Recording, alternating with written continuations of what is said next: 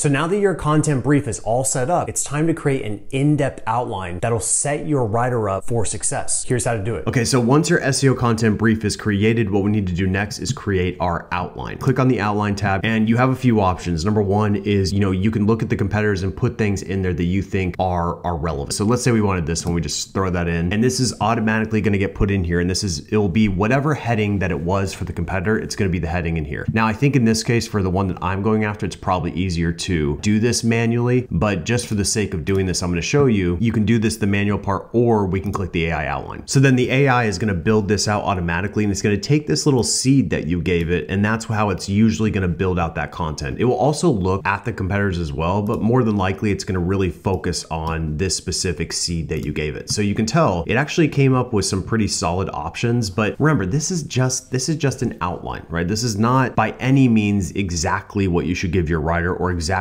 what you should write on. This is just a place to start okay?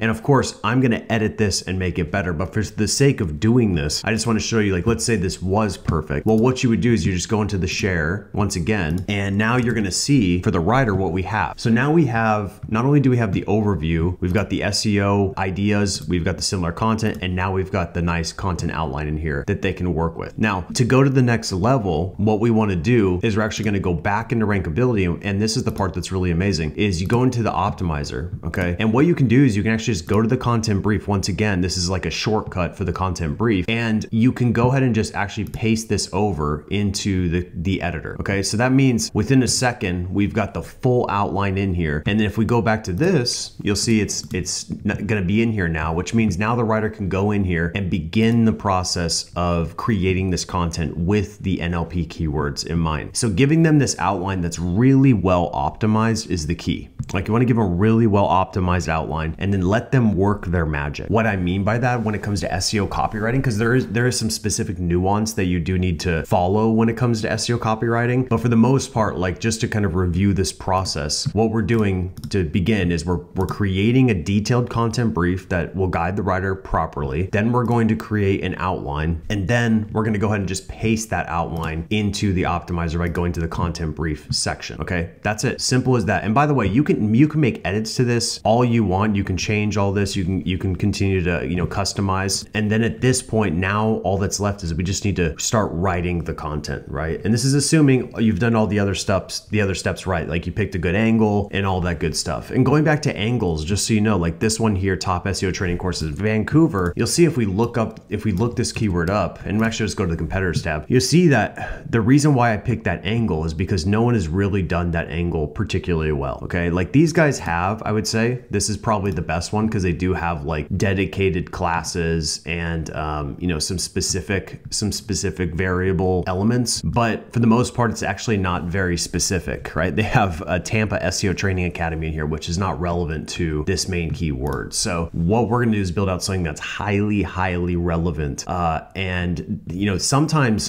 believe it or not, like when we're thinking about angles, sometimes being just the most relevant is the best angle that you can pick, right? It's not always about being like, we got to do something that's radically different. Sometimes you need to literally build out a more relevant asset compared to everyone else who's ranking. And I can show you an example of this. I teach this in Gotch SEO Academy, but this is this specific keyword I'll show you, iMovie crashes when importing. This is one that I've been ranking for for probably two or three years at this point. And prior to this point, this, this particular keyword on gotchseo.com was ranking like number 60 or 70 or something like that. And it was because I had an iMovie review page. So if you go to iMovie review, I'll show you and we'll see. I don't even know if I'm ranking for this. Let's see if I can find it. Okay, here we go. So this post here was ranking for this specific keyword phrase and it was ranking like, you know, numbers, like I said, well beyond 50. Okay, so what I did is I splintered off and I created a dedicated asset specifically for this keyword phrase. And within about a week or week and a half, it hit number one. So the reason for that is because when I